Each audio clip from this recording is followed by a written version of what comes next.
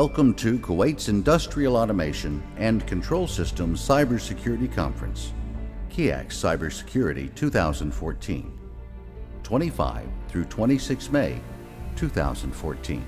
Hosted and organized by Equate Petrochemical Company in partnership with KPC.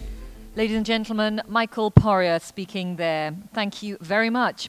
And for session six today, I am delighted to introduce Amit Verma, who is the product manager of industry customer services at Siemens AG. And here this morning to talk on the subject of, uh, of industrial control systems, security, landscape, and trends. He's a patent holder in information and data security from the US Patent um, Office. He has extensive expertise in industrial security systems and cyber security. Ladies and gentlemen, please welcome to the stage Amit Verma.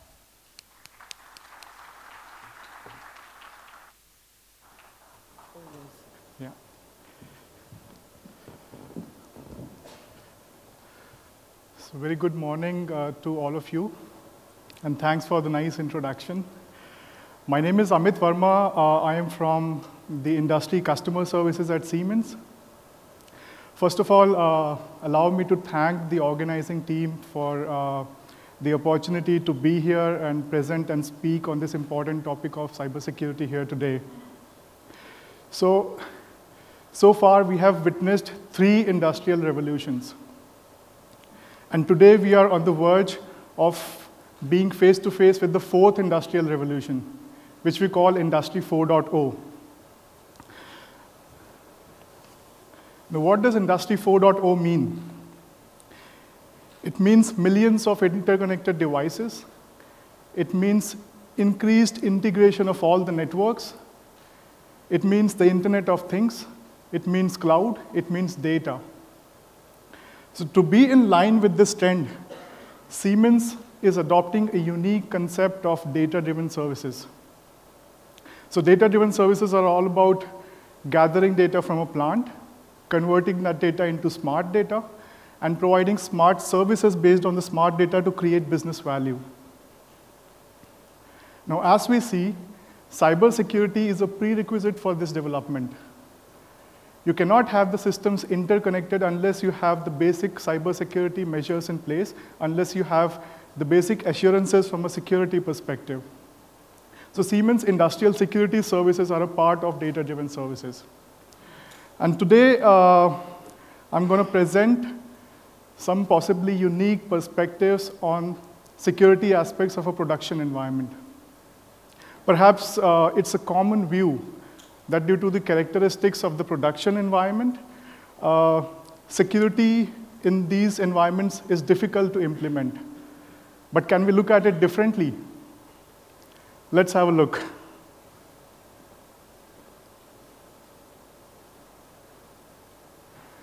So let me uh, spend a couple of seconds in defining what I'm talking about. I'm talking about the production environment or the operation technology environment.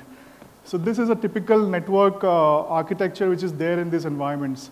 So at the top level, we have the M MES and SAP systems, which are closer to the IT environment. Then we have the SCADA servers, engineering stations, clients. Then we have the PLCs, control units, HMIs, and the field level. And this architecture is like prevalent in oil and gas, in chemical, in pharma, in all related industry verticals. So this is the structure that we are encountering. Now let me do a classic comparison once again of OT versus IT.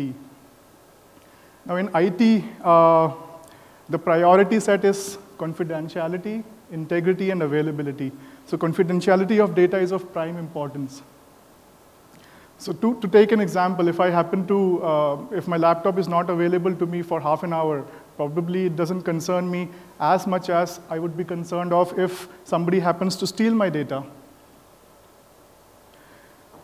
And in an OT environment, the priority set is just the reverse. Availability is of prime importance. So availability of uh, critical processes, availability of critical machines, availability of critical infrastructure, that has the prime importance. Another key differentiating aspect is the life cycle that these two environments have. An IT environment typically has two to four years life cycle. So probably uh, every year or every half an year, we are bombarded with new software releases, new kinds of hardware and software. So this is typical in an IT environment. While in an OT environment, the life cycle is pretty much long. It's 12 to 20 years. There are infrequent updates to firmware, hardware, and software in a production environment. Another key differentiator is the maintenance windows, availability of maintenance windows. The IT team have the luxury of uh, going into a scheduled maintenance activity perhaps every week. And this luxury is not available to the guys in the production environment because the production systems have to run 24 cross 7 all around the year. So there are just sporadic maintenance windows, if at all they are there. So traditionally, the cyber attacks were concentrated in the IT environment, but now there has been an explosion of cyber attacks on the production environment. And many speakers yesterday and today have reference to various instances of these attacks. Now, what are the characteristics of the OT environment which make implementation of cybersecurity difficult? So let's spend a few minutes on these characteristics. The first is the long life cycle. So the updates to the firmwares are not available frequently, which leaves the firmware vulnerable. There is limited vendor support. Patches are available, but implementing those patches are not perhaps practical at all times because many industrial segments have a long certification process before they can apply the, the patches in their production environment. So these are the challenges which arise due to long life cycle of these products, of this environment and they have high availability requirement. You need a maintenance window for a patching or an upgrade. These systems have to run continuously. The third aspect is vendor diversity. So in a typical control system environment, there are various vendors, there are various system integrators that come together and work on various aspects of the control system. So due to the diverse nature of these vendors, having a standard security approach in these systems is difficult. The ICS systems are customized, and these are driven by customized functional requirements. And sometimes how this is implemented is in the form of uh, ActiveX controls, in the form of custom scripts, action scripts, and so on. And these things are dangerous. These, these cause a lot of security vulnerabilities. Perhaps the most challenging aspect is the prevalence of proprietary protocols. So there are vendors who base their solution on standard and documented protocols. But there are also vendors who have proprietary communication in the network. So IT security systems have limited applicability in these kind of environments. So we are tempted to believe that cybersecurity is difficult, if not impossible, to implement in this kind of an environment. So this perhaps is the traditional thought. But how can we think it differently? The new perspective is that the same characteristics are enablers in an OT environment. Let's look at some of the enablers. An OT environment is diverse, but it's, a static environment. So what does this mean for cybersecurity? The static nature has tremendous advantages for cybersecurity. There are established communication partners in the network in terms of the IP addresses over which they communicate, in terms of the data packets that they communicate. So establishing an anomaly detection system or a behavioral, behavioral analysis system in these kind of environments is more easy as compared to the IT environment. In an OT environment, there are definite set of processes which are running on a system. So implementation of whitelisting is easier. In an IT environment, there are loads of processes, and you don't know which one to whitelist.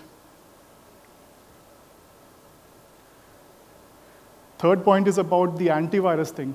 Once an update of the antivirus is validated in an OT environment, we can be reasonably confident that, we will not be receiving many false positives, which is not the case in an IT environment.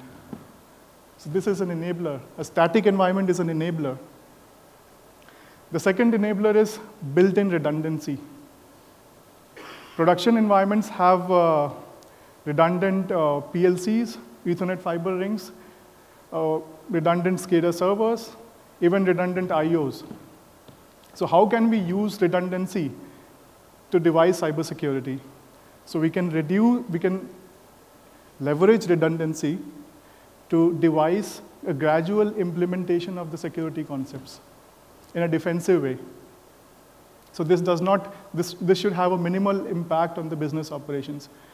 Yesterday, a gentleman from Saudi Aramco, he raised up a question and said, uh, cybersecurity impacts our business operations. So probably one of the answers is this, use redundancy to have a phased approach of the implementation of security controls. And this also allows us to have a rollback and a disaster recovery plan for the security implementation.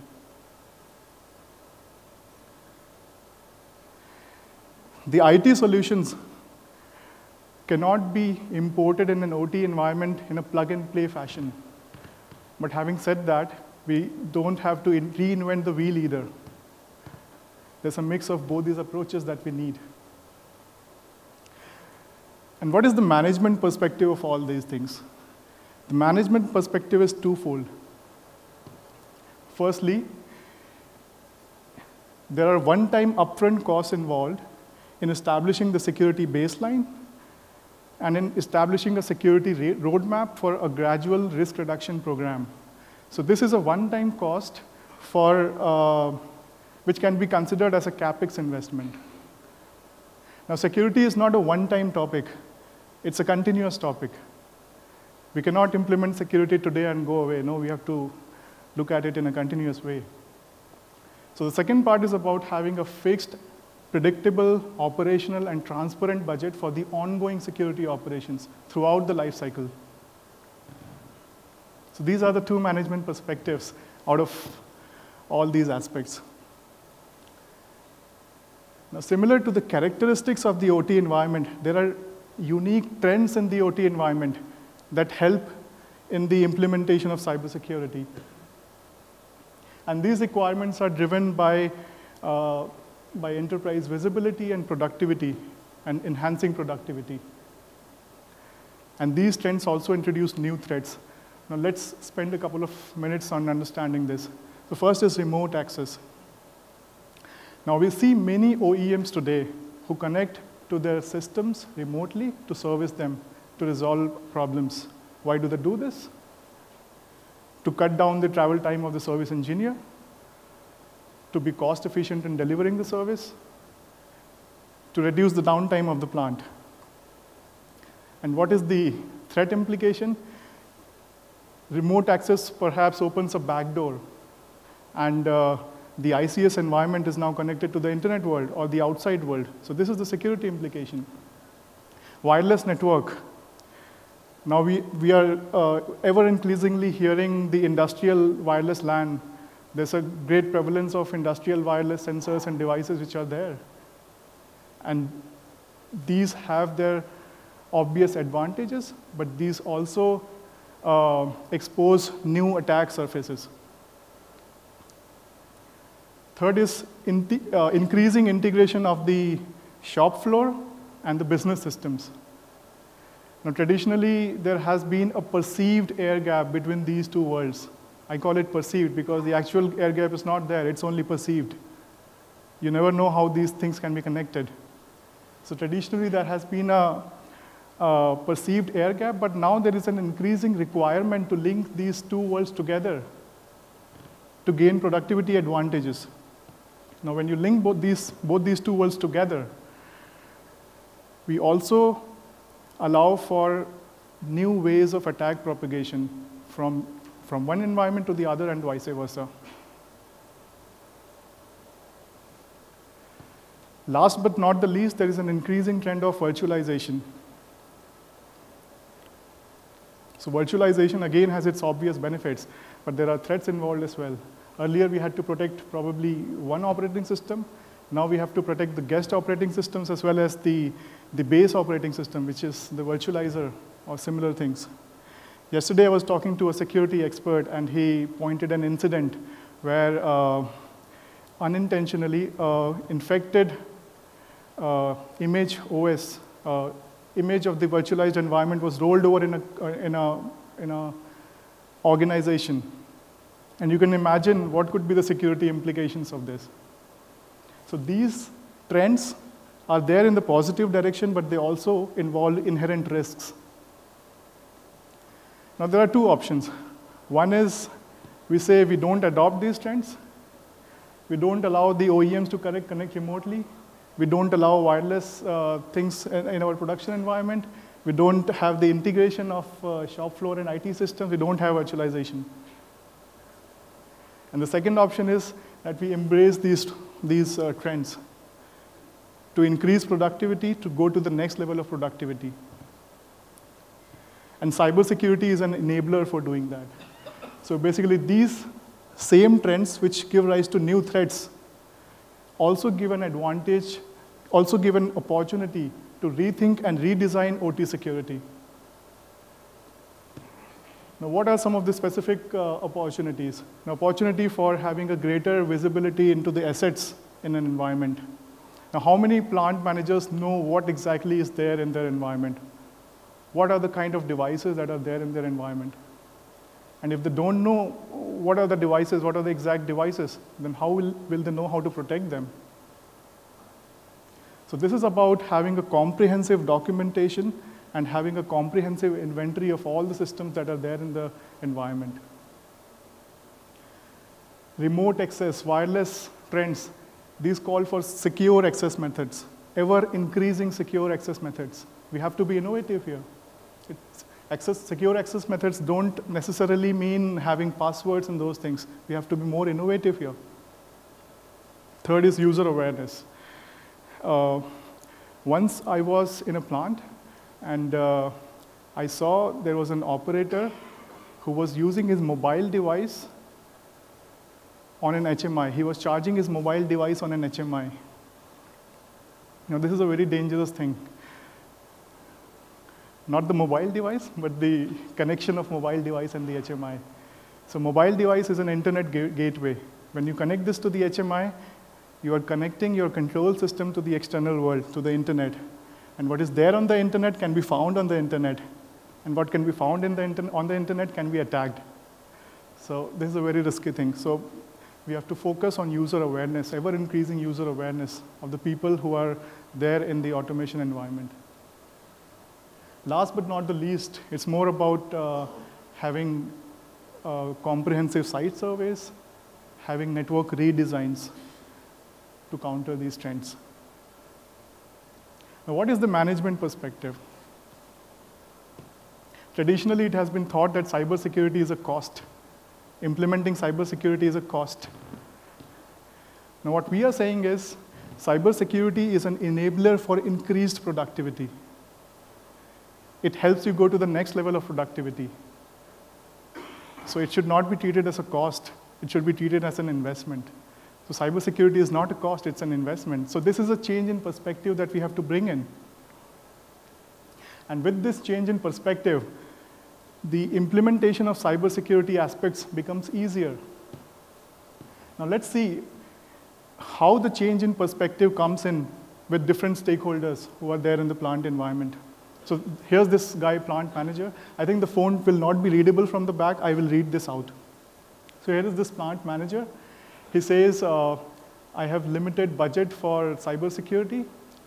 Fortunately, the case has become easier for me because cybersecurity has positive implications on productivity. So I'm going to go ahead and implement it. Then there's this production manager. He says, cyber security project can help me too because it allows me to increase production. I will support it as long as it does not disrupt production. Then there's this maintenance manager. He also says, uh, I have a clear benefit from the visibility aspects of cybersecurity, and I go ahead and implement it, and I support it as long as it does not disrupt production. Now here is this poor guy uh, who is always at loggerheads with the people on the shop floor. He says there's a change in perspective now on the shop floor, and I'm seeing an opportunity to secure it along with my enterprise environment with limited budget. So life has become easier for him. Now there's this guy, cybersecurity officer. He says, cybersecurity now can be made a reality. People are aligned. I have the budget, I have the time, but I don't have the expertise. How can I go ahead and implement cybersecurity? So the key here is professional planning and expert execution. Now, what can be an approach for a professional planning and expert execution? This I would uh, try to outline in the next couple of minutes.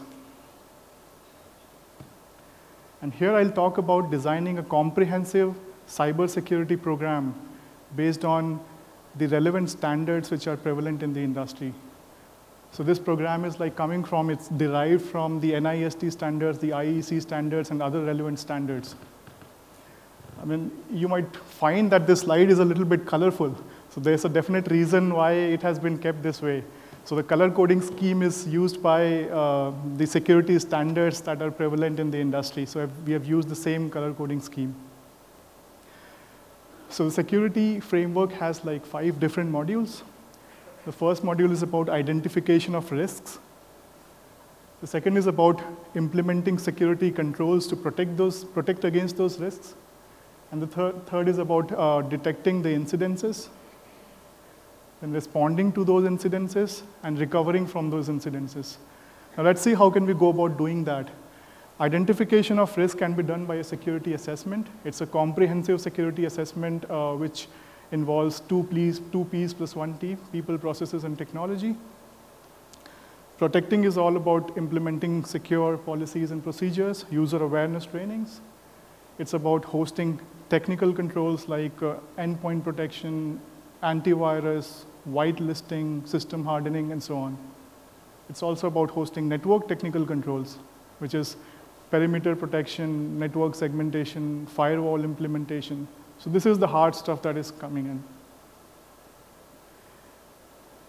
Once this baseline is complete, we enter into a continuous attack surface reduction and monitoring. Now I'll repeat, security is not a one-time topic. It's a continuous thing. So the first two aspects are, are one-time aspects perhaps. And the third is the continuous thing. And here it's quite important that we have inputs from a global threat security center, a kind of a global intelligence for security in the third step. So if we look at it, the first one is about determining the security posture. The second is about establishing a security baseline. And the third is about managing the entire cybersecurity lifecycle. And this is a risk reduction program for cybersecurity. Now, this kind of a program will give you complete control on the security aspects of your operations environment. So you don't worry about the security aspects, you worry, you worry, you worry about the forward-looking stuff. You have to bring in innovation to the production environment. So I would like to conclude by saying that time is the only constant, and we have to embrace the change, and cybersecurity is an enabler to embrace the change. Thank you very much. Okay, then, uh, thank you all very much. And uh, thank you.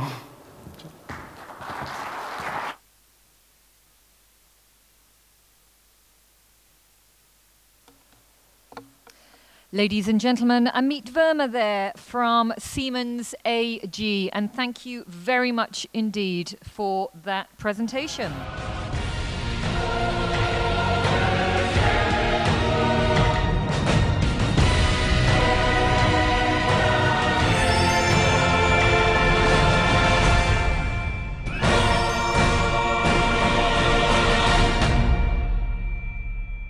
Hosted and organized by Equate Petrochemical Company in partnership with KPC.